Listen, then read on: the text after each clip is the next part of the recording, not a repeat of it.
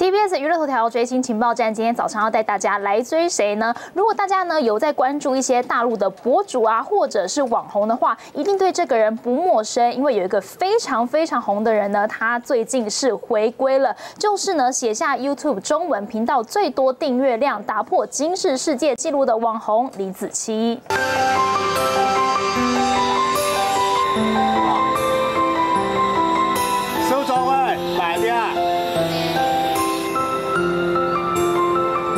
有些人可能不太知道他是谁哦。其实李子柒呢，在二零一五年的时候呢，就开始制作了短影音，并且呢是以制作美食为主哦。不过呢，他就在二零一六年的时候呢，就转战了微博，并且还在 YouTube 开设他自己的个人频道，还有个人的账号哦，就一跃成为了中国顶流网红。不过他靠着这些制作美食啊，还有介绍一些农村生活走红之后，却在二零二一年的时候呢，跟老东家发生了经济的纠纷以及版权问。问题就此呢，他就在二零二一年的七月之后就一直停更到现在，已经有三年之久了。不过他在微博还是有超过大概两千五百万以上的粉丝，还有他的影片的播放量也是超过了四十一亿，YouTube 的订阅数量更是达到两千万以上。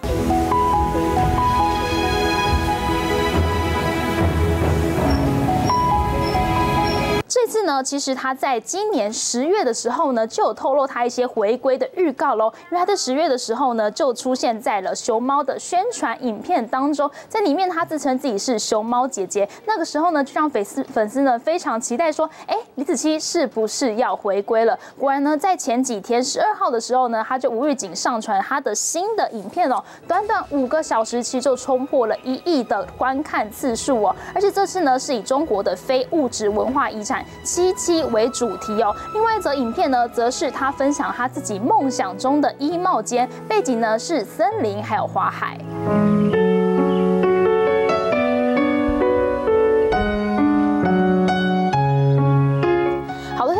其实呢，他这个影片呢，现在的观看次数也是非常非常的高哦。而且呢，就有知情人士其实就透露说呢，他在停更的时候呢，其实他二零二二年的十二月就已经跟他的老东家是已经达成和解了。不过停更这段期间呢，他其实多次的外出，并且去拜访了很多位的非遗文化的继承人，来去继承了他这个拜师学艺哦。对于李子柒来说呢，其实他停更这段期间就像是在闭关修炼，而这次回归呢，也是迅。速的就攻上了微博的热搜，而这次呢，他也是说，他这次回归呢，其实也是带给粉丝非常非常多的希望，也让大家非常非常期待。不知道大家怎么看呢？今天追情报站就聊到这里。